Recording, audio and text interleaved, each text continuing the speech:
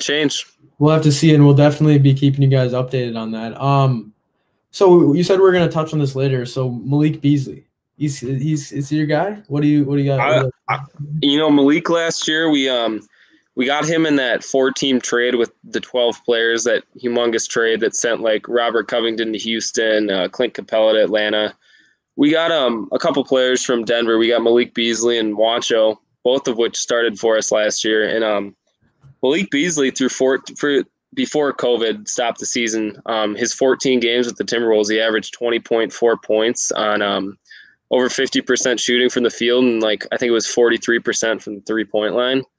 Um, I think um, I think that's an absolute steal. It's one of those Nuggets players that kind of got lost in the rotation, and um, signing him and locking him up because the Timberwolves, let's be honest, they need shooters. Um, their philosophy is they they want to shoot the mo- they want to shoot more threes than you and drive more. They hate the mid range shot. So I mean, we took we took we were top three in threes taken, but we were almost last in the league in threes made.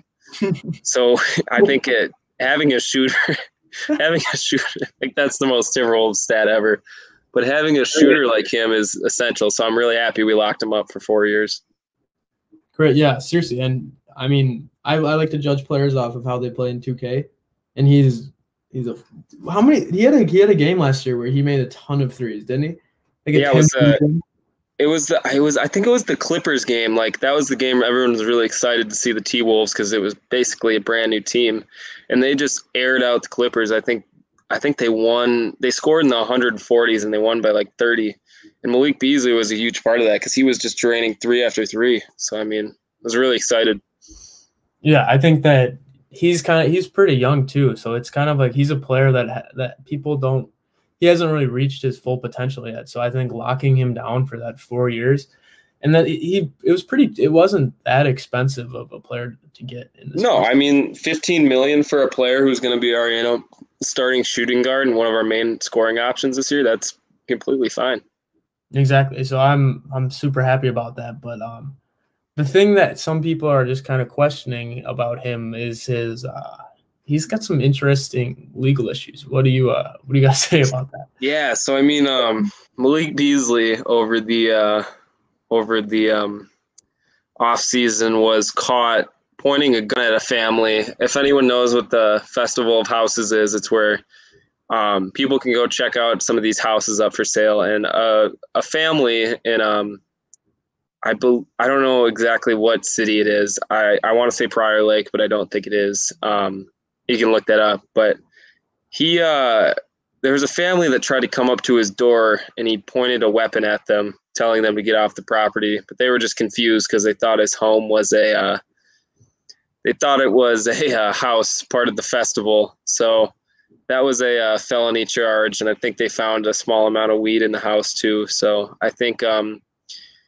you know, it's I, I hope it's just one mental lapse. Um, you know, he he seems a lot, but he deleted all his Instagram stuff because he was getting a lot of hate. But you know, after Minnesota signed him to that uh, four year extension, he he posted Minnesota turned me up, so I think he's ready. I think he's good to go. His head's clear.